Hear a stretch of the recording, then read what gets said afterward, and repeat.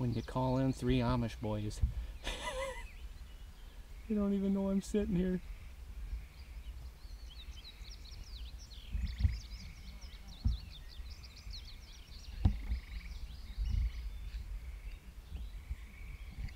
How's it going, guys? No, you're good, man. No problem. I'm already done.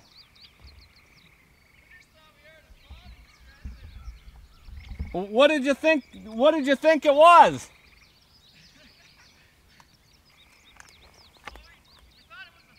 Oh, is that what you? Oh, okay.